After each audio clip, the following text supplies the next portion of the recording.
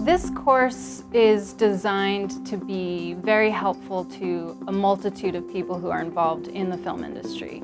Understanding where the, the money is coming from was of utmost importance. I realized exactly how important it is as an investment to your investors to be responsible.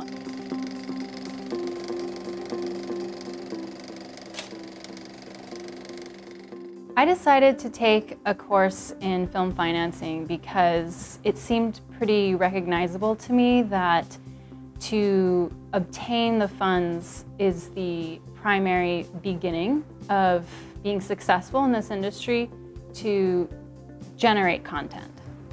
And so understanding where the, the money is coming from, I decided was of utmost importance. And also, through the course, I realized exactly how important it is as an investment to your investors to be responsible and ensure that you don't burn people for the future, that everybody is happy and comfortable to invest again in the future. Coming from a creative background, the way that I always thought about films were from uh, the, the content of it, right? And what is what was so surprising, embarrassingly so, so surprising for me, was thinking of it as an investment opportunity for people. And again, to have that responsibility to those who are investing so much money to this particular art form. Filmmaking is so expensive. Jeanette was extremely available. She was constantly making the class aware of all of the different ways that, that you are able to get a hold of her, to ask her questions.